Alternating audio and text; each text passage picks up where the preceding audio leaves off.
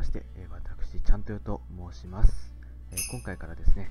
新しく YouTube で動画投稿させていただくということで、えー紹介自分の紹介がてら、えー動画を撮ってみようと思います。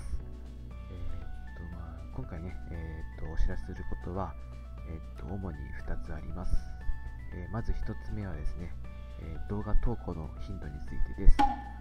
えーっとこのチャンネルでは、えーっと動画投稿の頻度は、えー不定期とさせていただきます。えーっと理由はですね、えーと私事ではございますが、えーとリアルの生活があったりするので、えーとまあね、なかなか忙しいところもあったりして、まあ、動画を作る、えっと、余裕がなかったりしたり、あと、まあ、モチベーション上がらなかったりとか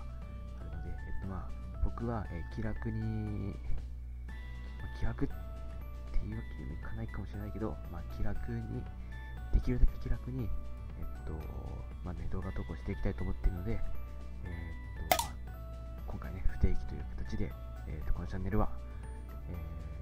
進めていこうかなと思っております。はい。で、えー2つ目です。2つ目は、このチャンネルの動画ジャンルですね。チャンネルでどんな動画が投稿されるのかっていうことなんですけど、えっと、まあ、ネタバレに なっちゃうんで、えっと、こう、何しますよみたいなことは言わないんですけど、えっと、一つのジャンルにこだわらず、えーいろんなえーとジャンルに挑戦しきしていきたいと思っているので、えっと、ぜひぜひ、えーちゃんと世の動画を、えー楽しみに待っていただき待っていていただけると嬉しいです。はい、えっ、とまあ今回短いんですけど、えっ、とこんな感じで、えーと今回の動画は終わらせていただきます。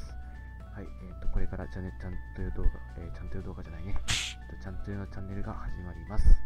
えっ、とですね、皆さんも楽しみに待っていただけたらなと思います。え応援よろしくお願いします。えもしよろしければですね、えーこの動画に高評価と、あとチャンネル登録を、えーともしよろしければお願いしたいと思います。はい、えー、じゃあ今回はここまでにします。えーまた次回の動画でお会いしましょう。えーバイバイ。